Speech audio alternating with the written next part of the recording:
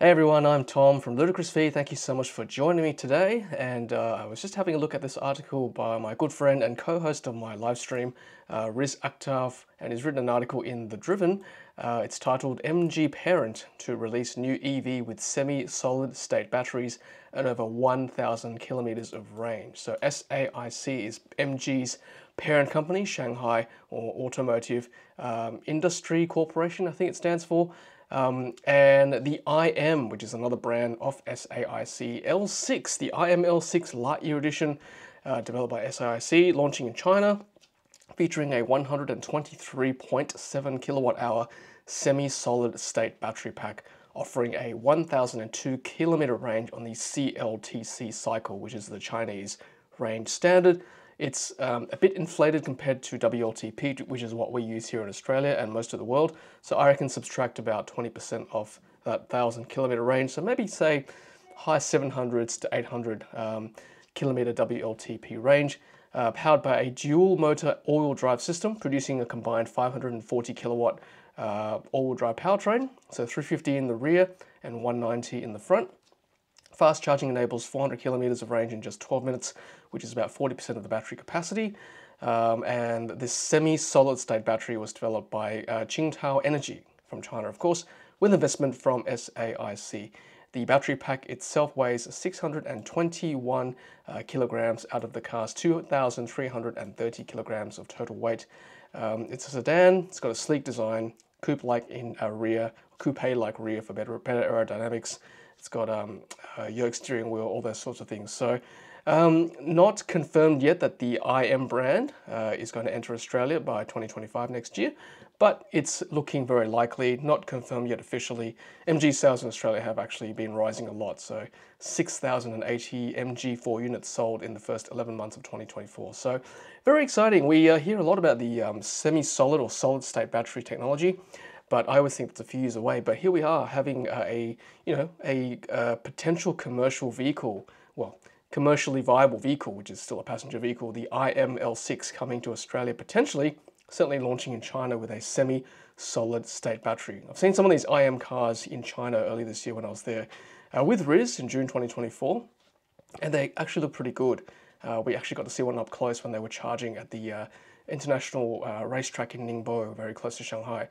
So let's uh, break this article down. So semi-solid state battery, what does that mean? So the, um, the batteries that you see in EVs these days, particularly in Australia, uh, either LFP or NMC battery chemistry, they're all a liquid electrolyte state, which means that you've got a liquid floating from, well, flowing from the uh, anode to cathode, I think, or cathode to anode, uh, either terminal, and that is what causes the discharge, provides power to the, um, to the car. So that's a liquid electrolyte. Obviously, being liquid, there is a there is more prone to fire risk as well, uh, and is not as dense as, as, say, a solid state battery pack. So we're talking basically a solid electrolyte uh, rather than a liquid electrolyte. So you get a denser battery pack and potentially safer as well from a fire point of view. Uh, the problem with a full solid state battery pack is that you get these dendrites forming at the end of the electrodes and they can potentially cause the battery to short circuit. So that's been an issue that uh, battery makers have been trying to overcome over the years. So we've got this compromise called a semi-solid state battery pack where you've got a gel-like substrate or substance instead of liquid or instead of solid. So sort of a halfway in between liquid and solid state. So, you know, you, you obviously don't get as much of a fire risk as a liquid electrolyte, but you also get some of that density as well uh, with, with uh, the semi-solid state battery pack and potentially less risk of dendrites forming at the end of these uh, electrodes, causing um, a short circuit to occur.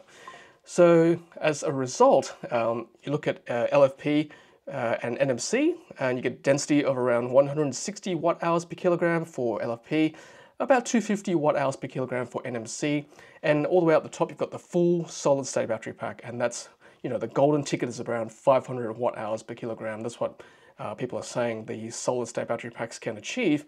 So with a semi-solid state battery pack, you're looking at somewhere between 250 and 500. So let's say 300, 400 watt hours per kilogram for a semi-solid state battery pack, which is you know, reasonably good density. Um, and because of that, you can get more kilowatt hours or more, energy, more energy stored into the same size battery pack as you would normally say for an LFP or NMC battery. So if you've got a constrained vehicle, a constrained space, like say a sedan for example, the IM, you can pack more, uh, I guess, electrons or more charge, more energy into a, a, smaller or same amount of space as you would for the current technology we've got uh, with uh, EVs at the moment. So let's have a look at this. 123.7 kilowatt hour uh, semi-solid battery pack offering say 800 kilometers of range. Um, and look at the weight itself as well. The 2.3 tons for this car's weight with a 123 kilowatt hour battery pack. That's not bad. That's actually pretty good compared to you know similar size battery packs or even smaller size battery packs with similar weight these days in EVs.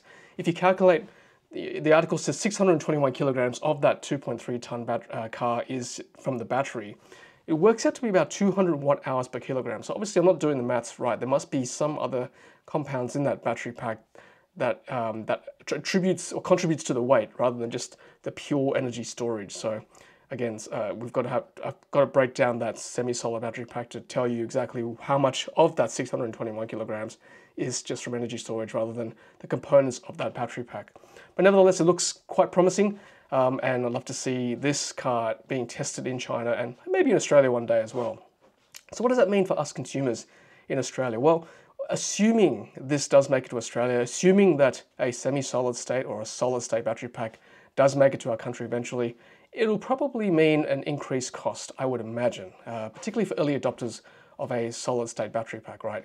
Anything, you know, anything that's early in the early adoption phase is going to cost more money, unfortunately. So I guess for those who always say I need more range in an EV, so this is where this is where this could be quite handy. If you need that extra, whatever, you know, extra range, 500 kilometers of extra range compared to the current EV battery packs, then there's an option right there for you. It's going to be more costly initially, but the technology is coming. And you know, obviously, there's a lot of rhetoric about um, fire risk in EVs admittedly very small at the moment. You know, a ICE car is 20 to 100 times more likely to catch fire compared to an EV, or whatever stats you read, or depending on the stats you read.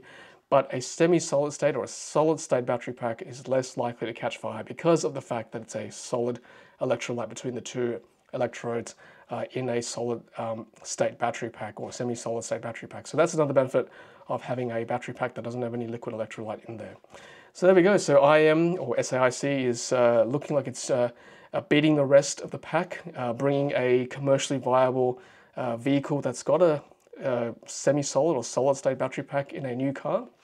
Again, like I said, the IM brand looks pretty good from what I've seen in China. Does it mean faster charging rates? Well, let's have a look at the article here. So 400 kilometers in just 12 minutes, which is about 40% of the battery. So let's say between 40 to 80% in 12 minutes. That's not too bad. I mean, seems to be on par with the 800 volt architecture that we've got currently in cars like the Hyundai Ioniq 6 uh, and 5 and also the Kia cars as well. And they can charge from say 20 to 80% in about 18 minutes. So it looks like it's probably going to be similar speed to that. I think 20 minutes is, is quite is quite acceptable, I think, in this day and age. I mean, 20 minutes is probably for a busy road trip, like busy time of the year, you know, even in a petrol car, a ICE car, there's going to be some sort of queue at a petrol station. So if you can charge an EV in 15 to 20 minutes, I think for me personally that's quite acceptable. Enough to go to the bathroom, uh, grab a bite to eat if you want, um, and you know duck back to your car. I think I've done it a few times with a charging speed that fast. It's um, it's almost a bit too quick because you need to rush back to your car. Otherwise, you might be subject to idle fees or even irate other irate EV owners looking at your car going, "That's already charged. Why is that still parked there?" So yeah, the future is exciting. Um, you know, the question is now, do we wait for this technology? Do we, you know, do we say, well, I'm waiting for that solid state battery pack. Um, you know, I'm not happy with the density of LFP or NMC.